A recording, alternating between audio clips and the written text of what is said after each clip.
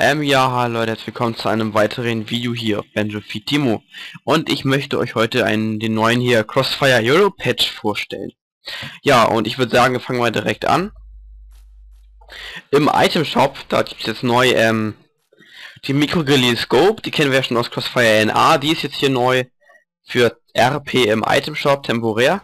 Dasselbe gilt für die Thompson, äh, die Bushmaster, die QBZ Advanced, die Stair AOG Camo. Ja, anschließend kann man noch für GP permanent ähm, die Ultimax kaufen. Das ist eine richtig nette Waffe, mit der ich nochmal dann nochmal in die Shooting Range. Die Mauser kann man sich hier ähm, temporär für ZP kaufen. Das Kukri ist jetzt dabei und das und die Dual Barrels. Die sind sonst immer nur hier durch Daily Missions. Ja, das war erstmal auch alles, was hier neu ist von den Waffen her. Nun gehen wir über zu den Charakter. Dort gibt es hier äh, so High Rank ähm, Extras mit 15% EXP mehr.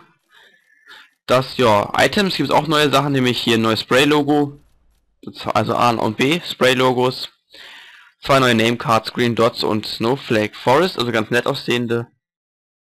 Ja, alles ganz nett. Ja, Package-Items gibt's nichts Neues. Kommen wir ähm, zum Black Market, also Capsule Shop. Hier haben wir, gibt's noch einmal die ULP X, das ist eine RP Crate und die ULP X ist eine erweiterte Version der SPOP. Die kennen wir auch aus Crossfire NA. Und ja, ich würde sagen, das ist einfach, ich kann nicht mal sagen, was ist das, einfach nur eine SPOP, die halt anders aussieht und die hat ähm, eine permanente hier Smoke Protection an, das heißt wir haben immer Smoke Protection, das ist ziemlich cool eigentlich, aber auch irgendwie scheiße, Noob, Noob. Ansonsten gibt es die M41 Custom jetzt hier, Wurde auch langsam mal Zeit und die M37 Stakeout. Das ist eine ganz nette Waffe. Gibt alles schon in NA. Ja, ist eine richtig nette Waffe. Die können wir uns jetzt erst bin. GP Crate haben sie immer noch nicht.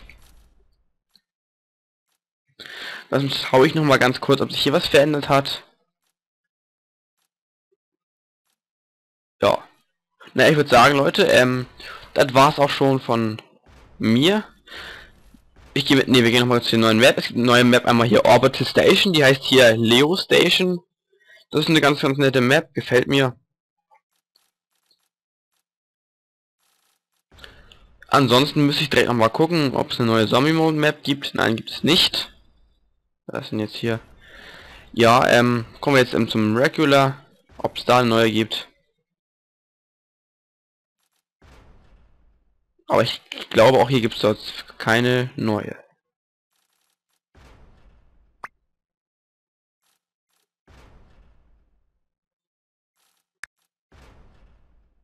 Und da bin ich, liege ich auch richtig. Ähm, ja, Leute, also ihr seht, also das, ihr seht, das war's jetzt auch. Ähm, es steht nochmal alles, was ich eben euch vorgestellt habe, nochmal zusammengefasst in der Videobeschreibung. Schaut auch dort mal vorbei. Und ja, würde ich sagen, Leute, bis zum nächsten Video. Tschüss.